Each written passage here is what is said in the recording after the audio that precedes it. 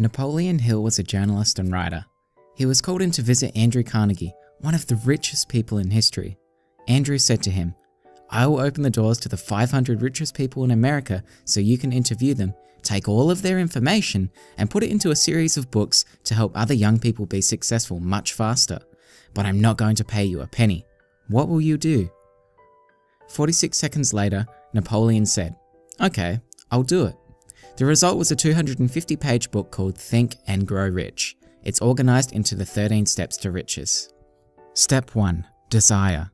Not hope, not a wish, a strong, burning desire. This is perhaps the most important step, which is why Napoleon has put it at the beginning of the book. The six steps to transform desire into financial gain are 1. Fix in your mind the exact amount of money you desire. 2. Determine when you intend to start giving for the money you desire. 3. Establish an exact date when you intend to possess the money you desire. 4. Create a plan for carrying out your desire, then put it into action. 5. Write down the amount of money you desire, the date you will get it, and your plan to get there. Your statement could be, I desire $1 million. I will attain it on September the 2nd, 2022. My plan is to sell 1 million pickles on a stick to wealthy tourists seeing the Sydney Harbour Bridge. 6. Read your written statement aloud twice a day.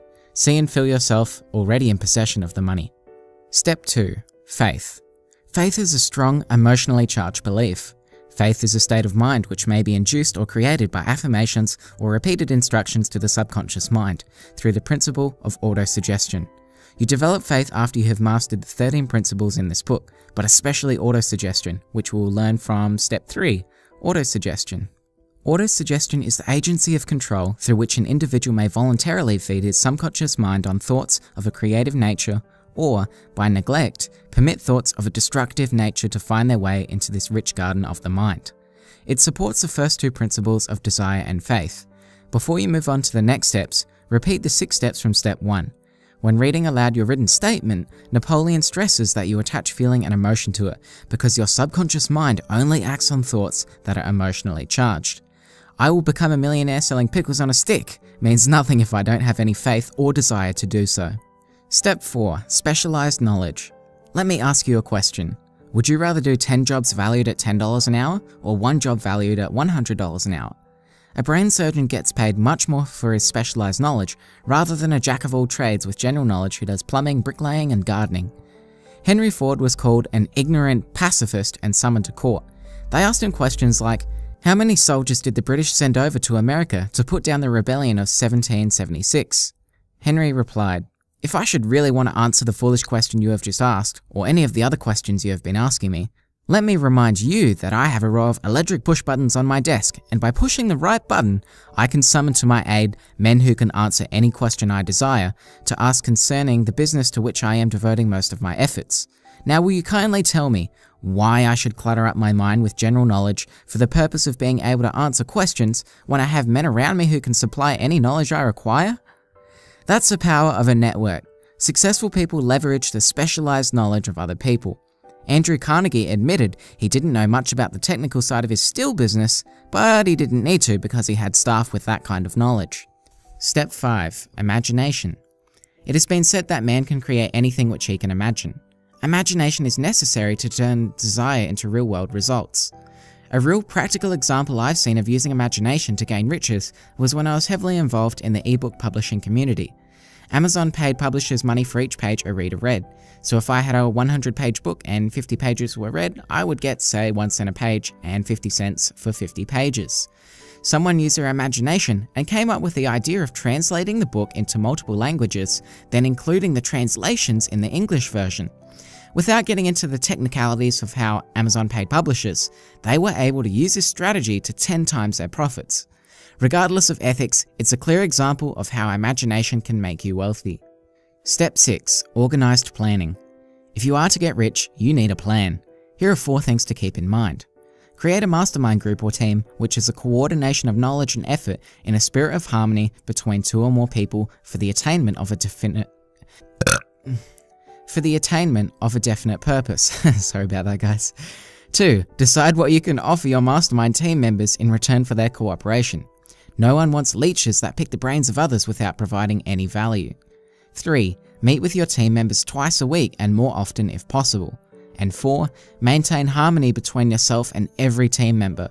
These four things will help turn your plan into action. If a plan doesn't work, replace it with a new plan. Step 7. Decision. People who fail to make money are easily influenced by the opinions of others. Family and friends will often hold you back whether they are well intentioned or not. Make your own decisions.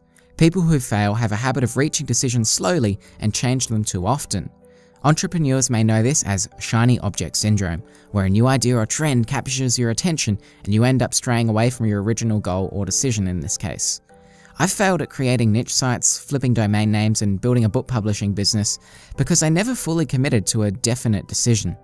Napoleon analysed hundreds of millionaires and found that every single one of them had the habit of reaching decisions quickly and changed decisions slowly, if and when they were changed.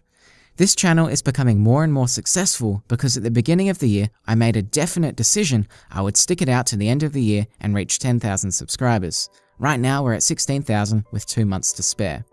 Step 8 Persistence. There's not much more to say here. Rich people persist. The more intense your desire, the more you're likely to persist.